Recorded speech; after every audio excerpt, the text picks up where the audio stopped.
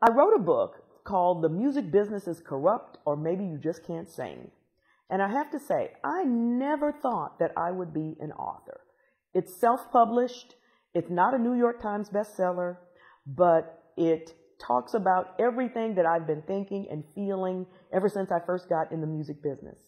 What I have learned through working with various clients and colleagues and students is that the one thing they had in common was that they always complained.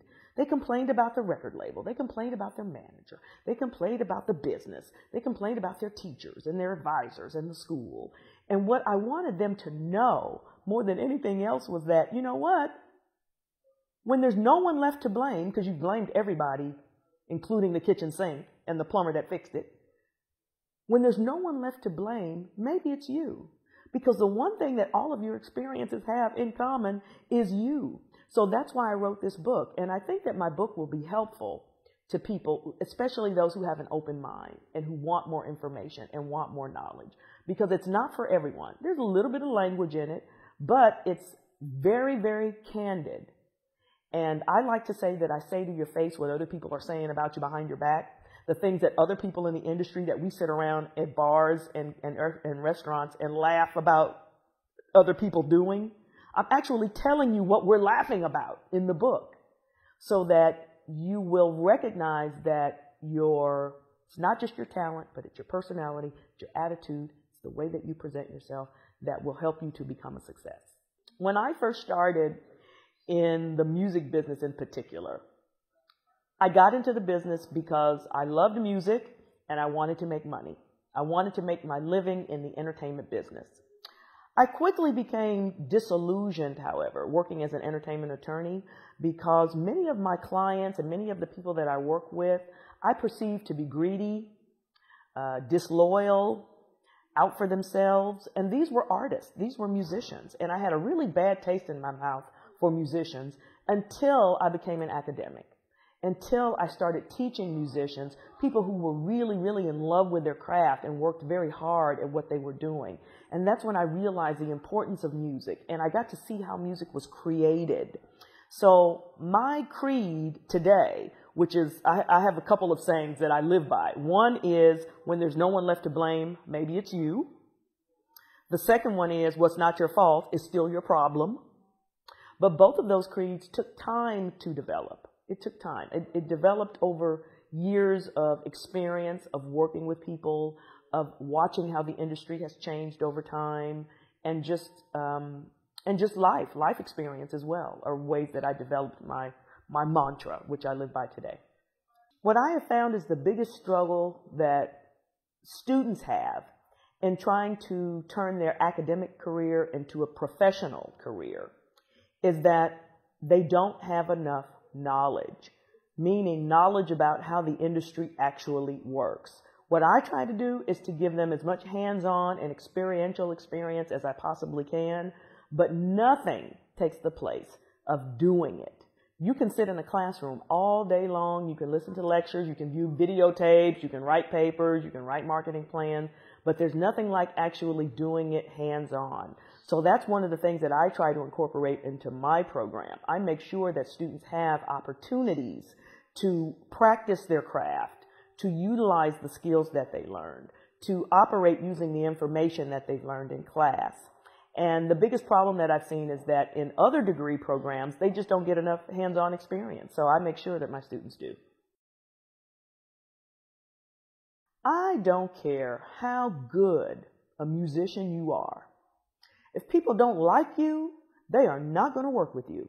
If you have a poor work ethic, if you can't show up on time, if you can't respect other people and work as a team player, especially if you're going to be in, in an opera or an orchestra or a ballet, whatever it is you're doing, if you can't work with other people, you're not going to make it. You may get the job because of your skills, but you won't keep that job because there are many employers who would actually take somebody a little less talented because we can teach a less talented person to be more talented.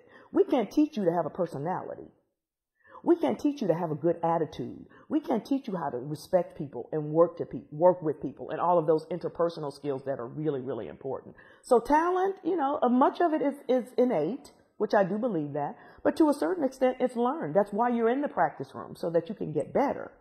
But if you don't have interpersonal skills or what I sometimes call soft skills and many of the skills that I refer to in the book, then like I said, you may get the gig, but you won't keep it. You won't be there for long because nobody will be able to stand working with you. I worked with a young drummer at the University of Memphis. I will not mention his name. This young man was so talented He was so good. He was exceptional. He could drum and sing at the same time, simultaneously. And he had a magnificent singing voice. But he had an ego. He was good and he knew he was good. And he knew that no one could touch him. And I think that that served as a problem for him early on in his career because he had, he was a rock star at 18. Right. I have watched him develop and become the quintessential musician, but I have also watched him develop and turn into the quintessential human being. He's a wonderful person now. And not that he wasn't a wonderful person before, he just had a big head. Right? Now he's a wonderful person that recognizes that, you know, he is not the end all be all, that there are other people who are just as talented as he is, I've seen him now. He, he has his own website. He's released his own album. I think he moved to Los Angeles for a while. He's moved to Nashville. He's really working the industry and I'm so proud of what he's doing. But I just remember, you know, telling him, you know, you've got a big head or you need to slow down or, you know, you need to check yourself. I remember having these conversations with him as a youth and he's grown into a really wonderful, successful young man. So that to me is an example of everything that I teach today, which means taking responsibility for your career, recognizing that you may have a personality problem or an attitude problem or a behavioral problem or all sorts of other issues that you need to address if you want to be competitive. We're so used to now communicating through smartphones and through tablets and through laptops and we're we don't have as many conversations with people as we used to. What I've noticed is that the most successful musicians, producers, engineers know how to hold a conversation. And it's very difficult, especially when I'm speaking with my audio production students. They spend a lot of time in the studio, much like a classical musician spends a lot of time in the practice room. So they don't have a lot of interaction with other people. The most successful people are the people who do know how to interact with other people.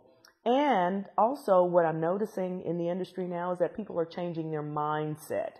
They're recognizing that the field is so competitive that they have to think like an entrepreneur. They have to have an entrepreneurial mindset. They have to have a set of goals. They have to be optimistic. They have to be enterprising. They have to be innovative. They have to always ask questions. They have to execute. And those are some of the skills that are really difficult to teach. These are sort of the, the, sort of things that a student can't say, well, I didn't learn that in school. Well, no one learns that in school. These are the types of skills that you need to recognize and cultivate on your own. And successful people are doing exactly that.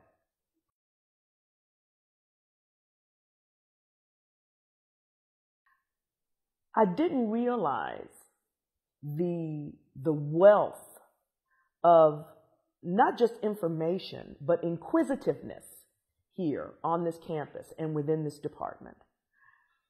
Jacobs wants their students to succeed.